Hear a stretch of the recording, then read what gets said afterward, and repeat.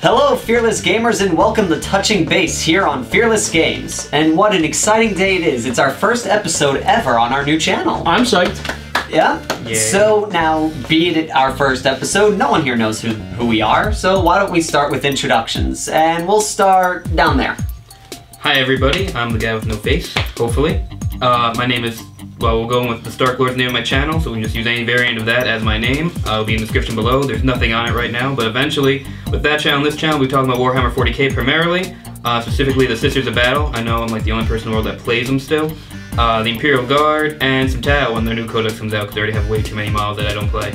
Um, past that, I'll be talking about what I do with them, how I play with them, which is basically how you shouldn't play with them, because I'm terrible at this game, and that's about it, and some game mechanic ideas I have.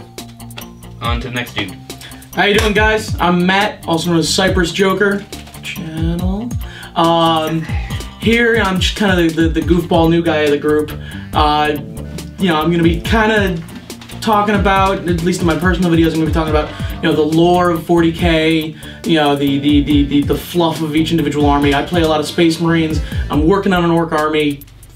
I've been working on the Ork army for two Ever. years. Three years. Three years. three years.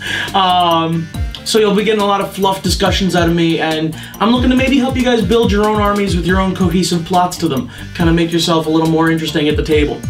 Uh, it's, it's me, man. Okay, I'm Matt as well. There's two of us, and you I you probably know me from Helios Raven's Nest. Um, I'm the veteran in the group. I've been doing wargaming for 12 years now. It's ridiculous Such how a long I've been doing this for. What a dork. Um, flies. I primarily play Dark Angel Space Marines because screw the Space Wolves. Boo. Boo, Space Wolf. Um, Space Wolves yes, this is probably the only channel that will not defend them. I play the Eldar. I play Imperial Guard, preferably Adeptus Mechanicum because tanks win wars.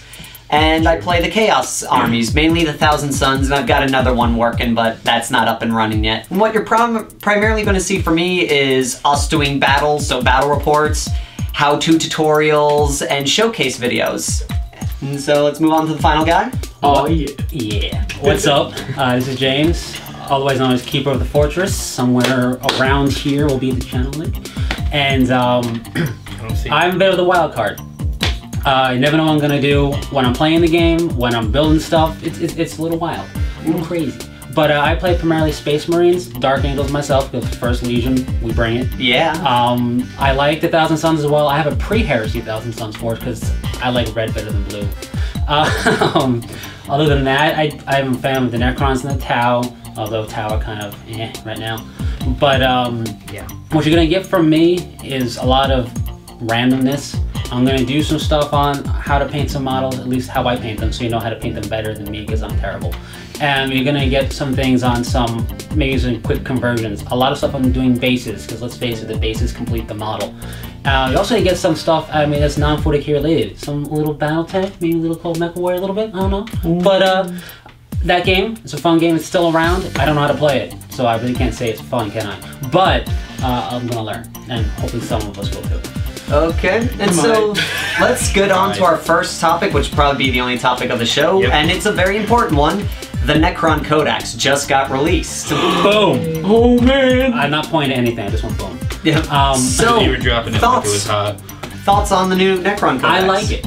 It's a bit of a retcon and a bit of an expansion, which is something Pretty good don't do. retcon, too. You know, Yeah. they beforehand, the fluff was bland. Very. We are And robots. tasteless Ever. and Yeah, you know, like- faceless, like soulless space For, automatons. for those who are not really aware of the Necron army, their whole fluff originally was just they're dudes, they got robot bodies, and they forgot they used to be dudes. And, And they kill they- everybody. And they just go around killing things. Faceless, pretty it. soulless space robots. Basically, and they were they were awful. Now Basically, they're get off my more. lawn. I wouldn't Yeah. awful. just They're get off my lawn very is what they wanted. But now Yeah. what And they now there's so much more. what we, they've done, which we all highly agree on, is they added a, enough of a fluff t- um, tinge to them So you can actually create your own stories like you could with the Space Marines or the Eldar. Like they made them you, you, fluffable. you have personality finally. Yep. Yeah, they're, they're, they're faceless, soulless Space automatons with pizzazz. Well, yeah, They A got little jazz bit more, a hands. little What's bit more. really? we got hands? Actually, we got yeah. dynasties.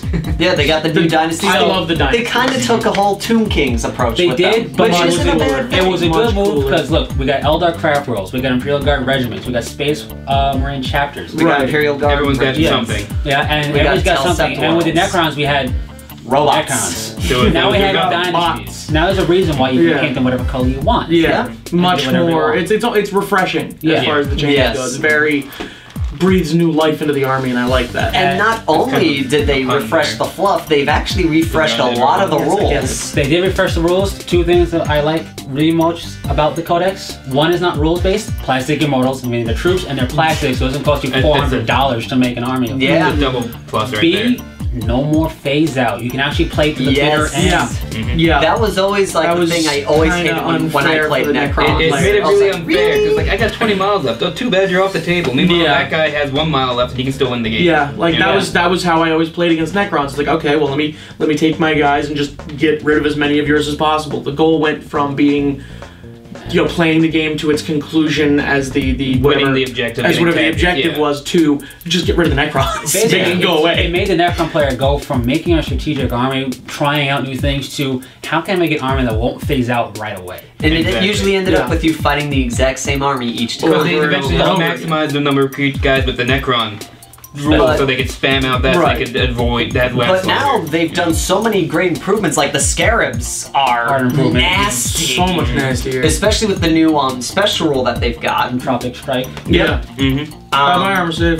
Buy Yep. it. Get I out of like there. all them at vehicles. I think they're it's nice Yeah. that. But it's everything about them has just been am- amped up a bit. Uh, Yeah. The Gauss Weaponry, even though it's the exact same rule set, it just feels refreshing because we have you know new models for the Immortals. We have Yeah. new models coming New out. different types of Gauss I, weaponry. I also like Yep. the Tesla weaponry. yes, Tesla's a Tesla add-on. weapons are nasty just for the sheer fact that if with enough right numbers, you can just Honestly, wipe out squads. Anything with the word Tesla in it is cool. Yeah. so you're you go. Yep. Well, it's true. It's true. Let's, we can't Yeah, deny it. like can't um, deny that at all. like for example, um, for anyone, you know, you can check this out on on the Games Workshop website. They outright say it. The Tesla rule is is if you roll a six, you make an additional attack. You make an additional hit You on got, a I think model. it's That's two cool. additional hits. Yeah, two Yeah. additional. So That's so, if you, so if you've got a four shot gun and you roll four sixes, you just got an eight dudes. That's Yeah, pretty It's, cool. it's, it's eight chain lightning. It's Yeah. cool. And and what's cool with that is, um, if you look back, you know, a little bit of fluff here again. Mm-hmm. Look back at the old fluff with them when they were fighting the Eldar. There was a group of Necron warriors who just pretty much shot lightning at them. Yes. And now you can actually do that Do with that. the army. Yeah. Which is Right. nice. Yep. Um, The, I like the new addition with the Satan as Yeah. well, or Satan, Catan, however you guys Star want to God. pronounce I, I call them a Star God. That's what they were called. I call them Satan I've because it's a Satan. Steve, Gadash, and Tan. When, when you say Catan, I think of the SNL guy, and it, it just loses all seriousness at that point. I don't know what Oh you're God, about. Chris. Cata- Oh Yeah, God. see? Why would you? Night at the Roxbury, really? That was great. Okay, Anyways, so but it's very interesting now how they did it. It's a bit of a retcon again. We go away from having Gods. gods on the battlefield, which wasn't really fair in 40k. And when, you, Yeah. when you hit Apocalypse, I mean, Oh, firstly, you, the you, can- you Nightbringer. can easily circumvent them. They were slow, but Mhm. not that big of a scare once you get away from them on the battlefield. But once you hit 40k, the Titans are like, what is this? D-gun, dead. And it was just like, well, that was kind of lame. They're supposed to be these godlike beings. Yeah. In the fluff, it states they can make a black hole to swallow up an entire sector.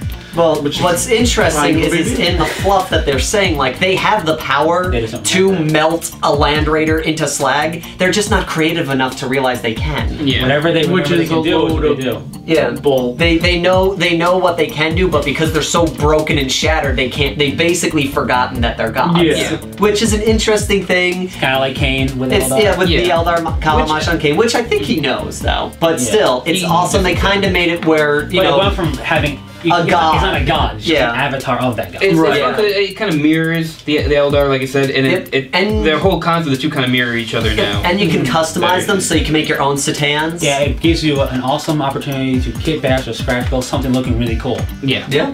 Um, And overall, it's just I feel it was a bit of a retcon for the, for the uh, Satan. One big retcon is pariahs. It's kind of like, what's a pariah? I don't know what a Yeah, pariah they is. just- You people are crazy. Uh, if you still have the models, you can basically throw them around and say they're a lord or a cryptofex or whatever. You could also Yep, use them whatever, to Cryptek. represent the Triarch Praetorians a bit. Exactly. That is Exactly. true. Like if you have, you can still Um, use them for some. Just things that you don't really have them anymore. I also like. But they're the only unit they got rid of. I Yeah, also nice. like the revamp of living metal. So now the monoliths are not the win button. Yeah, now you can actually Yeah. kill them with They're your still basic they're still anti-tank they're still win buttons because of all the abilities they have, Yeah. but they're not Well, as they're very very heroic. expensive. expensive. You can bring them one down. button. Yeah. You can bring A them little down You can bring them down a lot easier. I mean, which let's is face nice. it, Monolith was scary. It still is scary. and They're going to play things that to their advantage. Yes. Um, but overall, it's just a lot of nice things they added to it. I mean, we can always go more in depth on it later Yes, on. on that.